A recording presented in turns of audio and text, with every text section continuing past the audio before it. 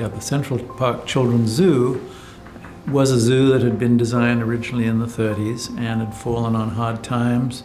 It contained a lot of kind of rather tacky elements like Noah's Ark and other animal related or artifacts that were no longer part of the zoo's style.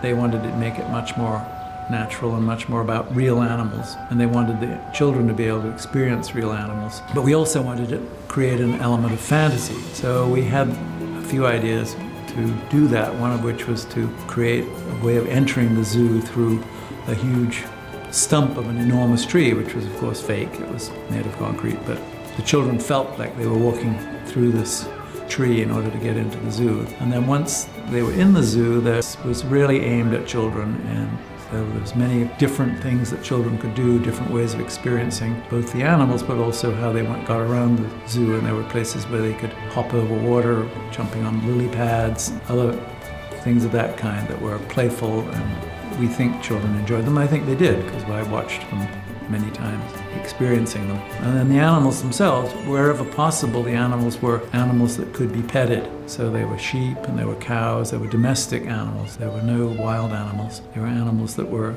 children friendly and that weren't totally freaked out by constant attention. Underlying it was the sort of somewhat corny theme of, I guess it was Alice in Wonderland or whatever. I can't even remember now exactly what the theme was, but it, there was a story theme too, which children could pick up on and experience as they walked through.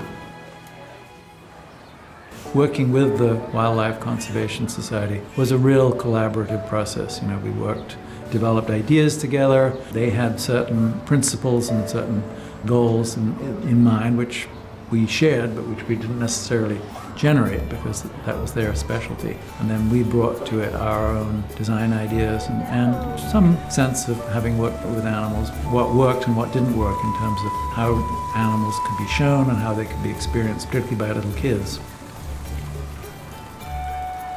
The approach to Into the Zoo was this winding path, which we felt was sort of sympathetic to the Olmstedian landscape in, in, its way. It was, it was more like the ramble than any other part of Central Park, but it had some of those qualities and heavily planted and so forth. Without trying to recreate a 19th century zoo, we tried to make something that was sympathetic and responded to the landscape of the park itself.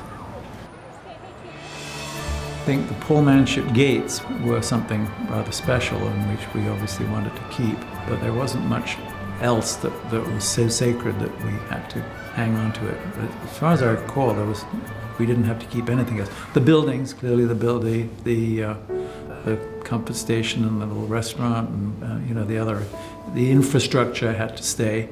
The, the job couldn't afford completely rip everything apart, and as many of the trees as we could save, we did.